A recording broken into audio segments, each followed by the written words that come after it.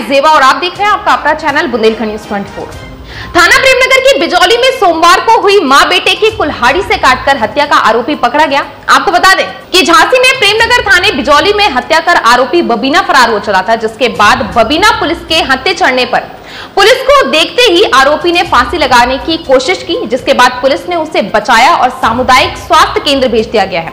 जहाँ हालत देखकर डॉक्टर ने उसे मेडिकल कॉलेज रेफर कर दिया था। हत्या के आरोपियों के बारे में एसएसपी ने बताया कि रिश्तेदारों में पैसे के लेन देन को लेकर विवाद होने से बिजली के बजरंग कॉलोनी में रहने वाले माँ बेटे की कुल्हाड़ी मारकर हत्या कर दी थी। पूछताछ के बाद हत्या आरोपी ने बताया कि उसके द्वारा अपने रिश्तेदारों की हत्या कर गलत कार्य कर देने के बाद शर्मिंदा होकर पिता का सामना नहीं करना चाहता था। इसके लिए उसने सुसाइड करने का कदम उठाया है। झांसी से पारस शर्मा की रिपोर्ट।